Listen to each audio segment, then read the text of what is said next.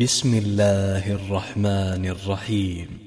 سبح اسم ربك الأعلى الذي خلق فسوى والذي قدر فهدى والذي أخرج المرعى فجعله غثاء أحوى.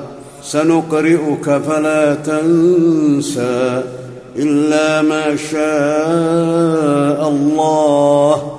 إنه يعلم الجهر وما يخفى ونيسرك لليسرى فذكر إن نفعت الذكرى سيذكر من يخشى ويتجنبها الأشقى الذي يصلى النار الكبرى ثم لا يموت فيها ولا يحيا قد أفلح من تزكى وذكر اسم ربه فصلى بل تؤثرون الحياة الدنيا والآخرة خير وأبقى.